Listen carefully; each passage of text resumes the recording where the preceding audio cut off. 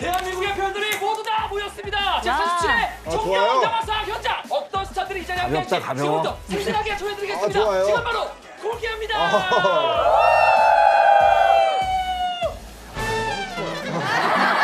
엄청 추울 텐데요. 영화인들의 화려한 축제 제37회 청룡영화상 시상식 영화계의 핫한 스타들이 한자리에 모인 이 뜨거운 현장에선 어떤 일들이 있었을까요? 연예가 중계가 만나고 왔는데요. 화려한 레드카펫부터 함께 하시죠. 추운 날씨에도 불구하고 수많은 취재진과 팬들로 열띤 현장 애타게 기다린 가운데 등장한 첫 번째 스타는요. 청룡의 마스코트 배우 김혜수 씨, 또 함께 MC를 맡은 배우 유준상 씨인데요. 이날 김혜수 씨는 남다른 수트 패션으로 범접 불가한 아름다움을 뽐냈고요. 또 영화 곡성의 주역 김한이야. 어때요 정말 좋습니다. 상 받을 것 같아요? 너무 쟁쟁하신 분들이 많으셔서 기대는 안 하고 왔지만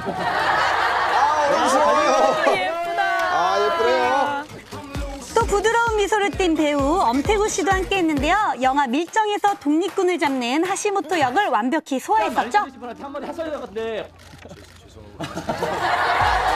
저 멀리 아름다운 리포터의 모습이 보이네요. 접니다, 저예요. 네, 순백의 드레스를 입고 등장한 이엘 씨를 그냥 놓칠 수가 없더라고요. 그냥 얌전하게 입었습니다. 뭐라고요?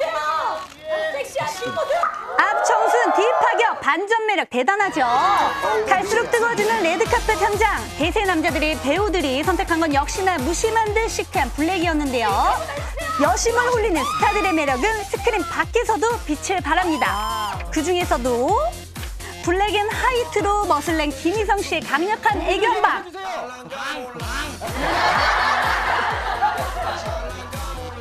또 등장만으로도 눈이 부신 스타죠. 미녀 배우 손예진 씨부터 영화 아가씨에서 숙희 역을 멋지게 소화한 김태리 씨도 레드카펫을 밟았는데요. 네, 인상적이었어. 떠오르는 신이죠. 박소담 씨. 좋아. 즐기도록 하겠습니다. 네, 충무로의 대세 여배우로 자리매김한 천은 씨의 품격 있는 하트까지. 아, 연기 잘해요. 여기 이름만으로 레드카펫을 떠들썩하게 만든 스타들도 있습니다. 등장했다 하면 난리법석 영화 나무주연상 후보로 오른 정우성 씨인데요. 어우, 제가 봤는데 잘생긴 게 최고입니다, 정말. 또 다른 나무주연상 후보죠. 이병헌 씨도 뜨거운 한우와 함께 입장했는데요. 아, 모히또 가서 몰디브나 한잔할까요, 이병헌 씨?